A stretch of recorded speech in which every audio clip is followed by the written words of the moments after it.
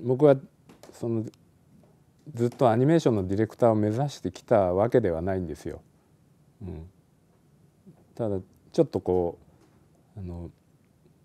普通の仕事じゃない仕事に興味があってアニメも漫画も好きは好きだったんでである頃からそのアニメの仕事に関わるようなあの仕事に就ければいいなと思って、えー、最初はアニメーターになろうと思ったんですね僕ね。でも周りにもっと絵が上手い人はたくさんいたので、えー、途中でディレクターの方にあの方向性を切り替えたんです。ただその映画はすごく好きだったんですよそのアニメーションっていうことではなくてねその外国映画とかが主にアメリカ映画ばっか見てたんですけれど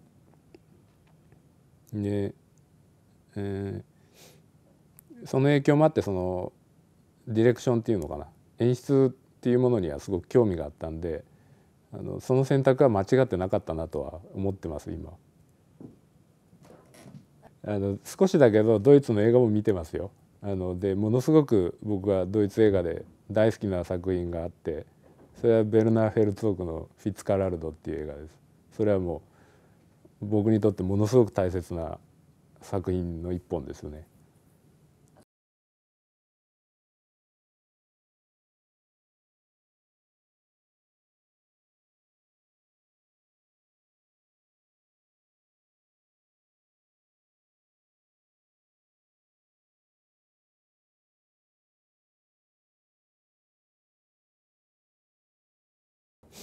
あのカラフに関しては僕自身その原作も読んでなかったんですけれどあのある時にその,、えー、その企画をずっといつかそのカラフルをフィルムにしたいと思っていた人が僕に会いに来てで初めて原作を読んででとてもあの共感したのであのぜひやりたいっていうふうに思って実際に作ることになりました。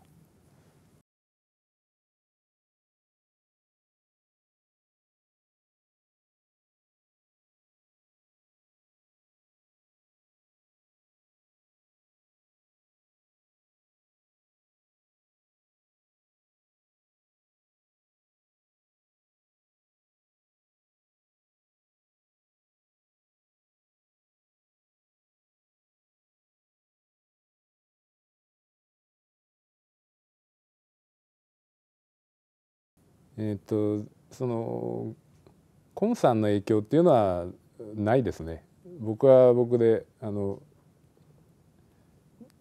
こう自分の、えー、作りたいものを目指してあの作ってきたわけなんでその関連性は全くないです。ジブリに関してはやっぱりその僕だけじゃなくて日本のアニメーションディレクターは割と同じような気持ちでいるのかもしれないですけどちょっと複雑なんですよね。あのジェラシーもあるし、えー、やっぱりすごいものを作るっていう気持ちもすごくあって見てクオリティが高いのは明らかなんでただ僕なんかは思うのはやっぱりそのジブリ以外の作品でもねあのこう新しいなんか日本のアニメーションを作っていきたいなと別の方向であのやっていきたいなって気持ちが強いですね。そうですねだから僕はやっぱ子どもの頃からその映画をよく見てたんででそういう作品にたくさん影響を受けて、えー、育ってきたんですよね。だからあの当時見た作品たちが影響を受けた作品が今の自分を作ったっていう気持ちでいますねだから自分で全く新しいものを新しい映画を作りたいっていうような意識はそれほどなくて自分を作ってくれた映画を、うん、に恩返しをしたいっていう気持ちが結構強いです。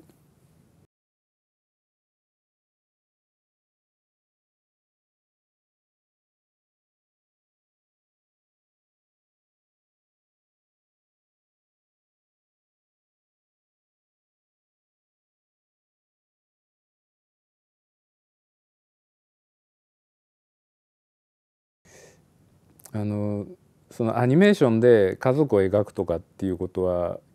あまりこうあの、うん、なんていうのかな、えー、アニメに向いた題材ではないと思われがちなんですけれど、えー、でも僕自身はやっぱりそのファンタジーとか SF とかよりもその家族を人間を描く人間のドラマを描くってことがやっぱり一番興味があるんでそれをあの自分が今やっているアニメーションを作るっていう仕事であの試みているっていうことなんですけれど。あの大きい理由があってその、え最初はアメリカ映画とかばっかり見てたんですけれどその後に昔の日本映画とかも見るようになってでむしろそっちにものすごく影響を受けたんですね。そのドラマのすす凄さっていうかでそれに僕はかなり影響を受けてあの今の日本映画以上日本映画なんかよりももっとすごいドラマをたくさん昔日本映画は作ってたんだっていうのをあの発見したんですよ。でそれにものすごい影響を受けたっていうのもあの大きい理由の一つですね。そういう映画が僕の心にたくさん傷をつけてるんですよ。あの思い出に残るいい傷を。だから僕はこういう仕事をしてるんだなって今思ってますね。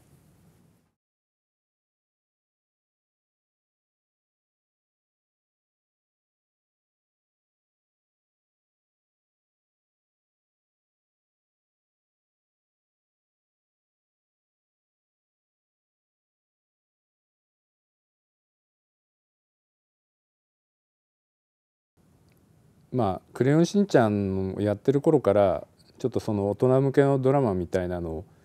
あの試みていたつもりなんですよ僕は。であのでもやっぱどっかやりきれない部分物足りない部分が常にあってもっと重いドラマをやりたいっていう気持ちがやっぱりすごく強かったんですよね。でただあのただその「クレヨンしんちゃん」でやった試みがあの理解してもらえたんで、えー、カッパがあってで、えー、そこでまた試みができてでじゃあ次にカラフルってあった時にでカラフルでもそれならじゃああのもっと重いドラマができるなと思って、まあ、そういう順番で、えー、やってきたわけなんですよ。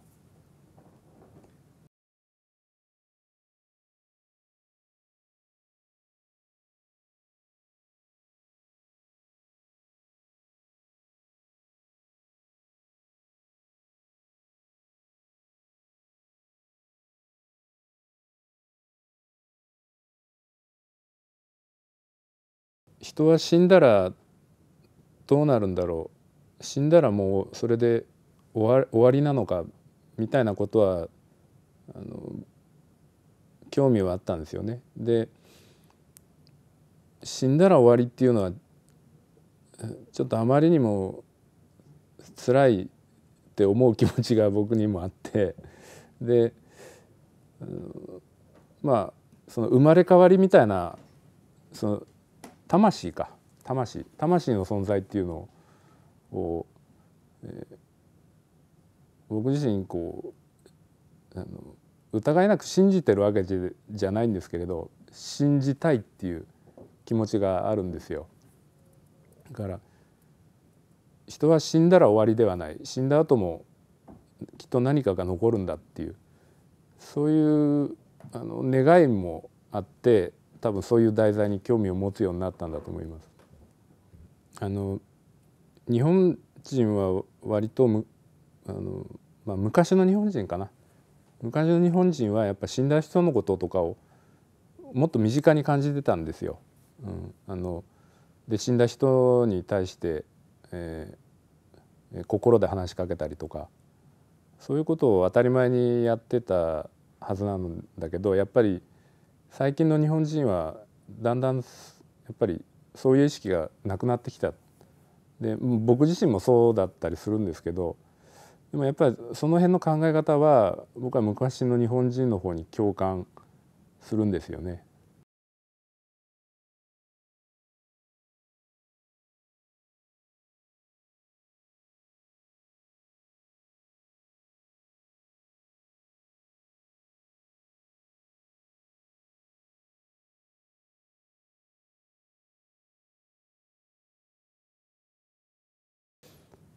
あのフィルムフェスティバルに呼んでもらえるってことはあの多分僕だけじゃなくてその監督っていう職業をやってる人にとってはすごく嬉しいことだと思うんで僕自身もそう思ってるしで特にやっぱ外国の人に自分の作ったものがあ評価してもらえるってことはあのすごく嬉しいことですね。あのその辺はなんかあのうん。おそらく僕だけじゃなくて他の監督もそうだろうと想像するし、え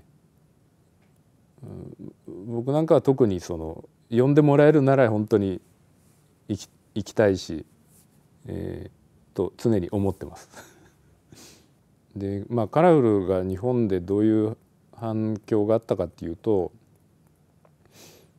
まあ内容がちょっとあの重いテーマを含んでる作品なんですよね。でそういう部分をあのアニメーションで描くってことに抵抗を示す人も多かったですけど、えー、僕は